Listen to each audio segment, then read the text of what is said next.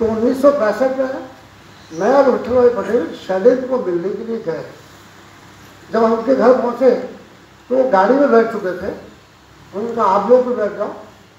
मैं आके स्टूडियो जा रहा रास्ते में बातचीत हो जाएगी। तो पहली बार मेरा पहली बार मेरा राज कपूर से परिचय शैलेंद्र जी ने आर के स्टूडियो में कराया।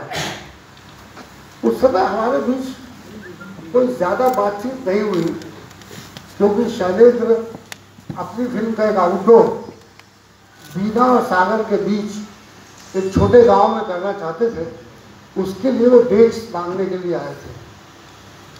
तो उनके तीसरी कसम के बारे में बातचीत चल रही थी तो मेरी विशेष बातचीत नहीं हुई।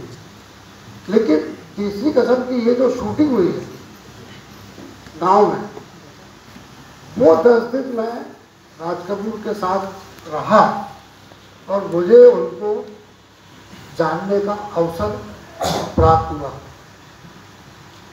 राज कपूर को पढ़े लिखे लोगों से मिलना बहुत अच्छा लगता था, क्योंकि वो सब तो मैट्रिक फेल थे और किताबें पढ़ते नहीं थे, सुनते थे। कोई आदमी पढ़े तो वो किताब सुनते थे। तो उनको हमेशा किसी न किसी शिक्षित व्यवसाय व्यक्ति के सानिध्य में रहना बहुत पसंद था। अब देखिए, उनके अधिकांश फ़िल्में उनके ख्वाजा बाबा अब्बास ने लिखी है, जो बहुत विद्वान थे। फिर एक फ़िल्म उनकी अर्जुन देव राष्ट्र ने लिखी है, वो भी बहुत विद्वान थे। तो उनके साथ, उनके जो लेखक उनके साथ जुड़े वो हमेशा बहुत पढ़े लिखे लोग थे। और राज कपूर को पढ़े लिखे लोगों की संगत करना बहुत पसंद था। क्षमा चाहूँगा। तो होता अरे, कोई इसका होते घोटेगा आके इसका गाना घोटे क्षमा चाहता हूँ। तो तीसरी कसम की शूटिंग जिस छोटे से गाँव में वो गाँव के कुल आबादी तीन सौ थी।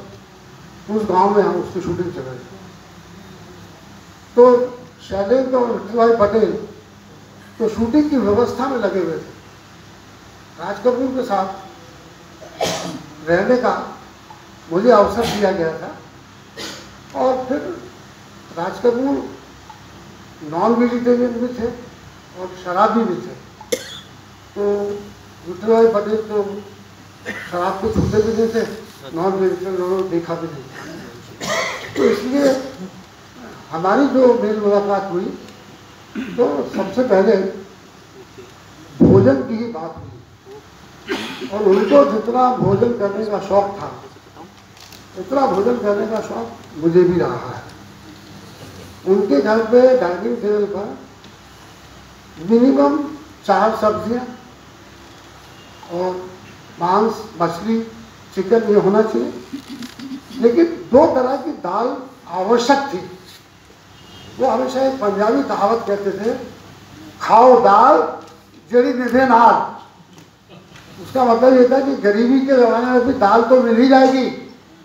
ये मुर्गा, मछली, ये मिले, ना मिले। तो राज साहब को ये अनुमान नहीं होगा कि एक ऐसा भी दौर आएगा जब दाल मिलना भी मुश्किल हो जाएगा। Subscribe our channel and press the bell icon for more updates.